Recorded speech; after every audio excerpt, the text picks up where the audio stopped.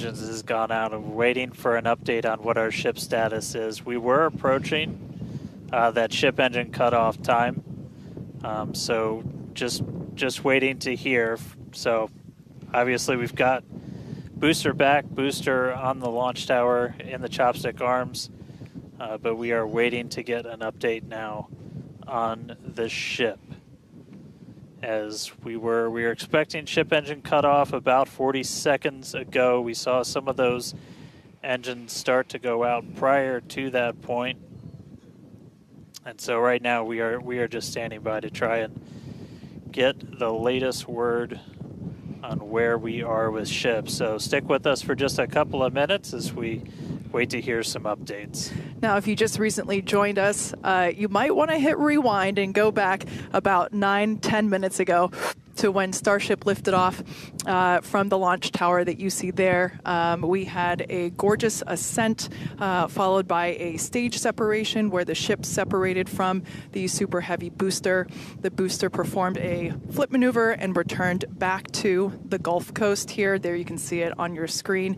Uh, obviously, a successful catch back at the launch tower, uh, which is something that we were all hoping to see and really couldn't ask for a more beautiful background with those blue skies uh, and blue water there. Uh, as Dan said, we are standing by for an update on the ship um, that had ignited its engines and started making its way uh, up to space. So, uh, standing by for more info on that but wow, what what an experience to see that take off uh, and for that booster to come back. Uh, you can see it there up close on your screen to the the place that it launched from. Uh, once again, there were thousands of uh, catch commit criteria, uh, which is basically just all the things that we have to assess and evaluate, and basically make sure that they are um, make sure that everything is clear and acceptable conditions, both on the vehicle side uh, as well as the tower side, in order to enable that catch. So, um, obviously, from the last two flights that we have done, where uh, the uh, flight six we attempted but had to divert into the ocean, and then on flight five we did have the first ever successful catch of the booster. We used the learnings of those two flights to hone in that catch commit criteria, um, and we saw success today, which is uh, pretty awesome. Yeah. And just a quick status check. So we're we currently do not have comms uh, with the ship. So uh, trying to figure out exactly when that happened and exactly what happened. So obviously the flight controllers right now uh, going through their data, uh, looking to make sure it's not anything instrumentation on the ship, but actually uh, try and get us a status. So again, we're gonna we're gonna keep listening in on this. We'll give you an update as soon as we have a little bit more. So for now, stage one, back in the tower, waiting to find out a little bit more about stage two.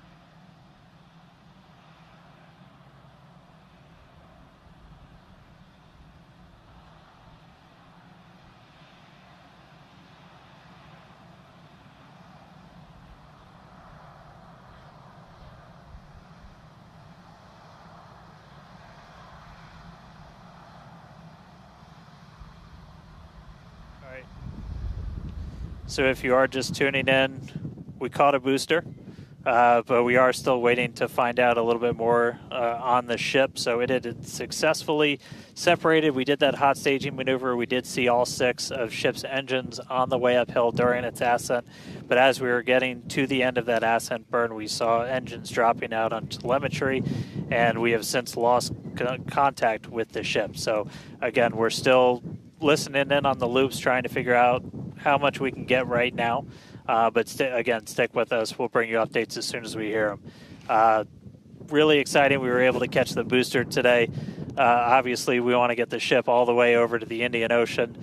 Um, may not be able to do that at this point, but we'll give you some updates as soon as we hear a little bit more about the ship. Uh, for those that didn't catch uh, earlier, this was a uh, a new version of the ship. This was its debut flight, um, so a lot of learnings here for sure um, as we continue to tune in and, and, listen in with the teams and try to gather more information uh, to understand uh, where we stand with the ship. But um, as Dan mentioned before, teams are trying to make sure uh, that it's not an instrumentation error. we want to find out if it's you know, did we just lose communication or um, or did something else happen with the ship? So teams are actively working, trying to figure out uh, what we can um, what we can find out, and uh, we're continuing to listen in and uh, find out more information to share as we can.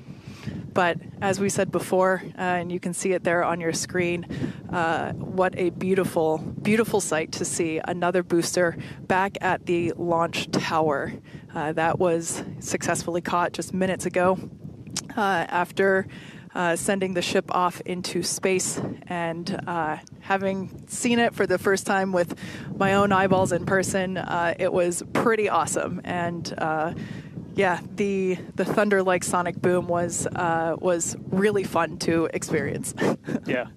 Um, so we are getting a little bit more. So we we did lose all communications with the ship. Um, so I mean that is essentially telling us that we had an anomaly with with that upper stage. Um, so we were just coming up to the end of that ascent burn for the ship uh, when we stopped until or when we um, started to lose uh, a couple of the engines, we saw those dropping out, and then we did lose uh, telemetry from the ship. So that means we didn't have contact with it. So at this point, we are assuming that the ship has been lost. Um, so this was a brand new vehicle, essentially. This was kind of an upgrade version. So with that, there's a lot of things you're upgrading, but there's a lot of things you're going to new uh, learn as all those systems are now interacting with each other for the first time. Uh, but at this point, uh, we did lose the upper stage of the ship. So uh, again, we're gonna we're gonna listen in and try and figure out a little bit more about what happened. And obviously, we'll do kind of a full breakdown once we get smarter ourselves yeah. uh, in the coming hours and days as well. For sure. Now, uh, for those that uh, have recently tuned in, we're now a little over T plus 16 and a half minutes after liftoff. Uh, we do believe that we have lost the ship during its ascent phase. It's uh, successfully separated from the Super Heavy booster, um, but uh, at, during that ascent phase, a couple of the engines dropped out, and then shortly thereafter, we lost communication with the vehicle. So we are assuming that we have lost the ship, uh, but we are standing by to confirm that. And once we can, we will. Um, but this was a new version of the ship, of Starship, and uh, it was intentionally designed uh, and flown in order to basically test the envelope, um, as we have done with every one of these test flights, the keyword there being test, uh, and really trying to understand the boundaries and the maximums uh, for the ability of this vehicle to fly and understand where those boundaries are. So um, we always knew that uh, excitement is guaranteed uh, today, uh, success not guaranteed. And uh, so, yeah, we are standing by to see if we can learn more about uh, the status of the ship.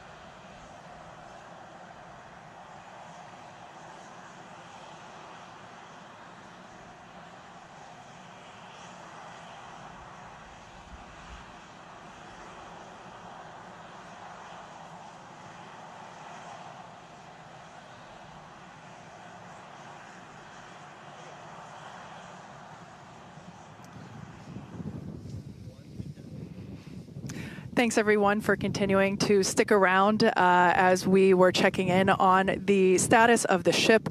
At this point in time, we can confirm that we did lose the ship. Um, however, Starship, uh, the total vehicle, did have uh, an on-time liftoff at 4:37 p.m. Central Time from the launch pad just behind us at Starbase Texas. Uh, gorgeous ascent and successful stage separation. The booster uh, pushed the ship off, and or, the ship disconnected uh, during that stage separation. The booster came back for a successful, the, six, the second ever booster catch uh, at the launch tower, which was pretty incredible to see. Yeah, it was great to see the booster come down, but uh, we are obviously bummed out about ship. Uh, it looked like we lost contact with it a little under eight and a half minutes into flight. That's roughly when you start to get to that main engine cutoff. Um, we obviously need to go through all the data. It's going to take some time. In the next hours, days, we're going to figure out exactly what happened, come back, fly the next one, get even farther. Reminder it's a test, it's a flight test, it's an experimental vehicle. Um, so we'll figure out what what ended our day today and make sure it doesn't end our day tomorrow. So, uh, as we do that, we're going to continue to provide you updates on our X account on SpaceX.com. So just continue to tune in there as we learn what happened. We'll be ready to share it.